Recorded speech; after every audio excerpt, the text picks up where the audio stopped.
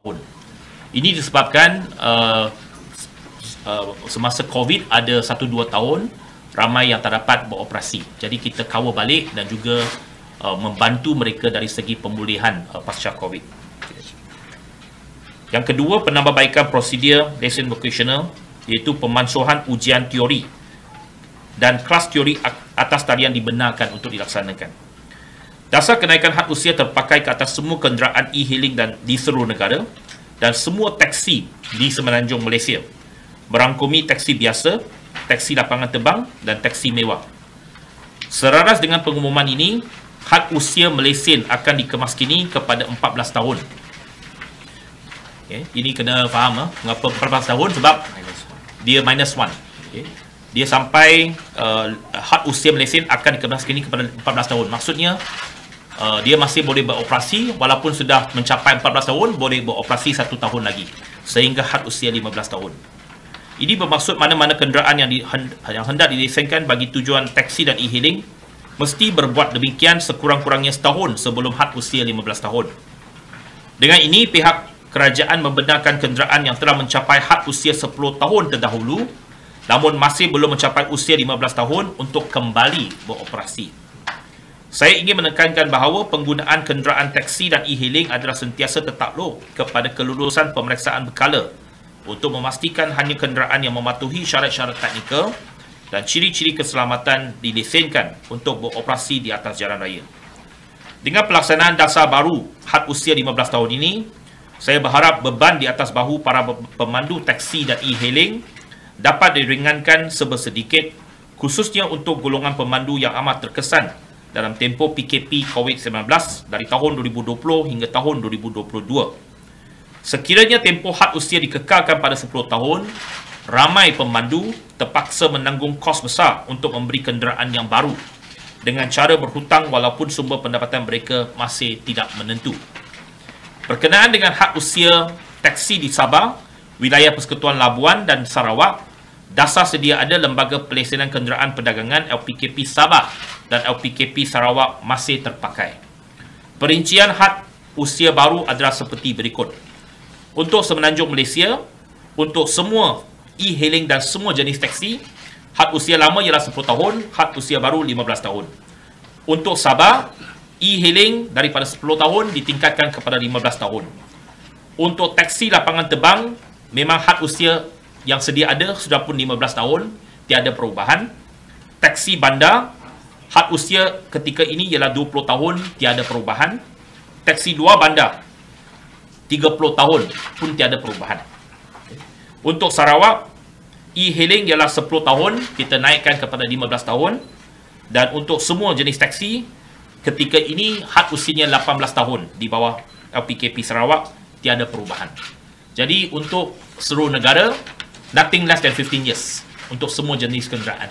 Kalau di Sabah dan Sarawak sebab keadaannya berbeza ada uh, jenis taksi yang dibenarkan untuk ber, uh, beroperasi lebih daripada 15 tahun itu tiada perubahan.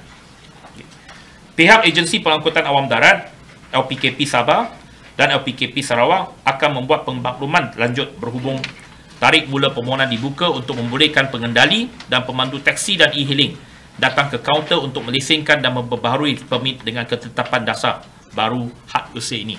Namun begitu, untuk e-hailing, mereka boleh terus berhubung dengan uh, pihak EHO masing-masing. Penambahbaikan, itu yang pertama. Yang keduanya, penambahbaikan prosedur lesen vocational. Berkenaan dengan penambahbaikan prosedur lesen vocational yang terdiri daripada kategori lesen kenderaan perkhidmatan awam, PSV, dan lesen kenderaan barangan, GDL. Langkah-langkah berikut akan diambil. Yang pertama, pemansuhan ujian teori untuk semua lesen vocational. Kelas yang kedua, kelas teori untuk lesen vocational boleh dilaksanakan secara atas talian. Berkenaan dengan pemansuhan ujian teori bagi pengambilan lesen vocational iaitu PSV dan GDL, hanya perlu menduduki dan melengkapkan kelas teori sedia ada sahaja sebelum dikeluarkan lesen PSV. Ini satu perubahan yang besar, satu paradigma yang anjakan paradigma yang besar. Sebab kita tekankan ialah uh, mereka mengambil kelas tetapi tidak diujikan secara teori. Ini sesuatu yang uh, amat uh, baru dari segi pemikiran uh, uh, pelesenan kita. Dan ini sesuatu yang sudah tentunya akan memberikan uh, memudahcarakan uh, ramai pemohon.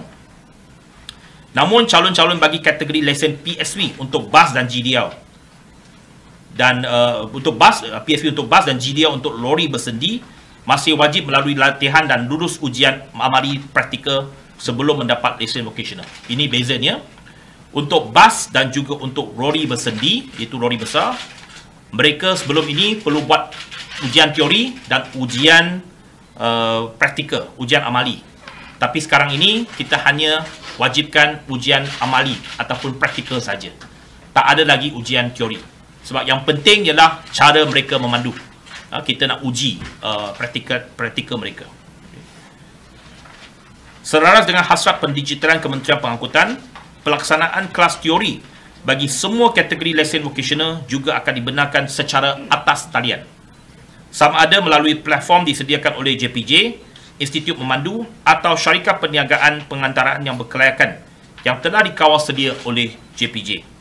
Tempoh masa kelas teori sedia ada adalah dikekalkan. Mana-mana pihak IM atau syarikat perniagaan pengantaraan hendaklah menggunakan modul ataupun silibus pengajaran kelas teori lesen vocational atas talian yang ditetapkan oleh JPJ sepenuhnya. Pihak JPJ akan menetapkan syarat-syarat dan peraturan berkaitan kelayakan penyediaan platform atas talian dan mengawal selia kelas teori bagi memastikan kesahihan dan integriti calon.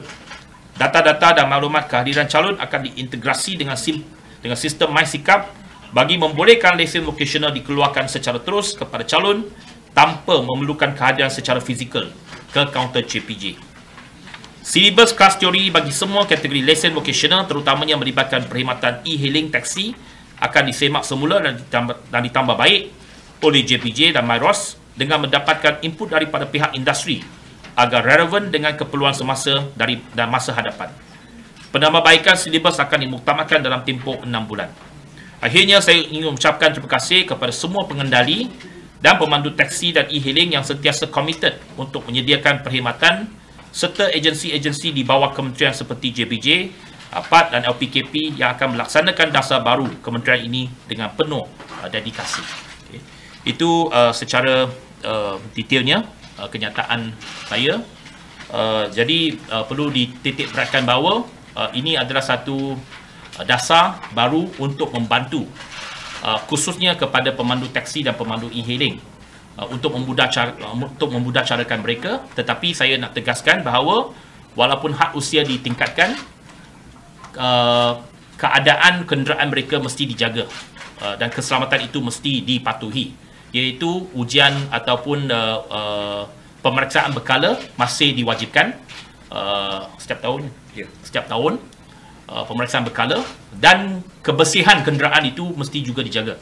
Dan dari segi kebersihan dan sebagainya untuk uh, e-hailing uh, pihak eHSHO ada uh, sistem mereka uh, untuk mem, uh, memastikan uh, piawaian kebersihan itu dapat dijaga kerana itu juga mendapat feedback uh, daripada uh, penumpang-penumpang jadi saya nasihatkan uh, semua pemandu e-hailing dan taksi uh, walaupun had usia 15 tahun kita benarkan tetapi keadaan kenderaan itu mesti dijaga dan sentiasa dipastikan dalam keadaan tip-top uh, condition.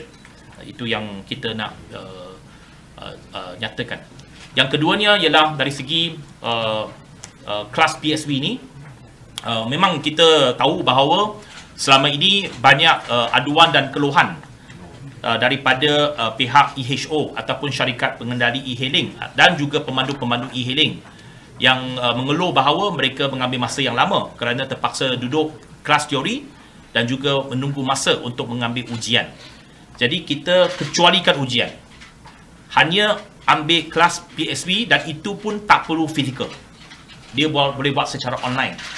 Ya, di rumah mereka pun mereka boleh ambil uh, kelas teori itu. Jadi apabila mereka siap uh, kelas teori itu, maka akan diberikan uh, lesen PSV secara digital. Okay, itu yang akan ditambah baik. Uh, kita akan bekerjasama dengan pihak IHO untuk melaksanakan pembaharuan ini. Okay, itu saja.